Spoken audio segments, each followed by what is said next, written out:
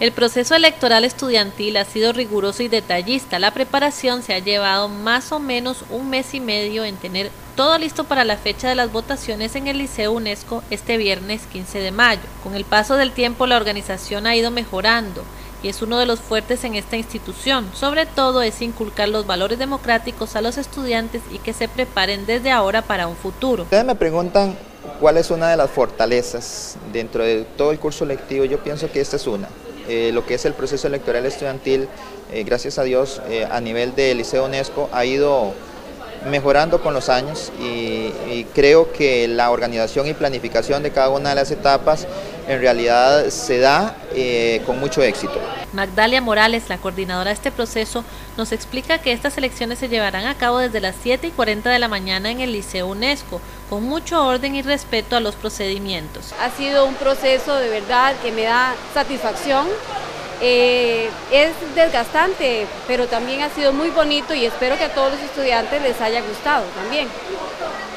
Considero que esto principalmente es educación cívica.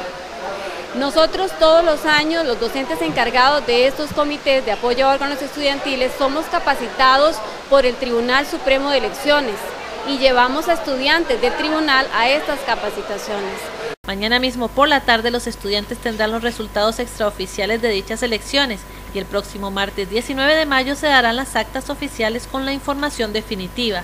Los estudiantes se mostraron emocionados con este derecho a elegir a un representante. Y ahí y no sé, es bonito porque como que fortalecen los valores de cívicos y así. Entonces, es bonito. ¿Estás preparada y ya estás decidida por quién votar? Sí, sí. Muy bueno, es, muy diferente las es diferente la escuela porque no es tan agresivamente. Eh, ¿Ya estás decidido, ya tienes en mente por quién vas a votar y, qué te parece que, se pueda, que puedan elegir ustedes eh, quién los va a representar? Para mí lo que me gustaría es que gane Dante. Mm, un poco nervioso ahí para ver por cuál voto yo y cuál es el mejor.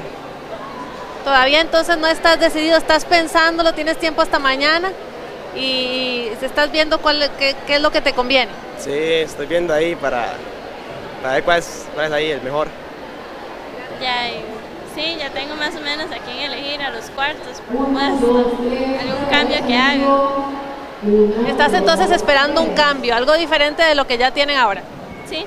Algunos estudiantes ya tenían a sus favoritos en mente y otros esperaron el momento del debate entre partidos que se realizó en uno de los gimnasios del liceo a partir de la una de la tarde de este jueves 14 de mayo.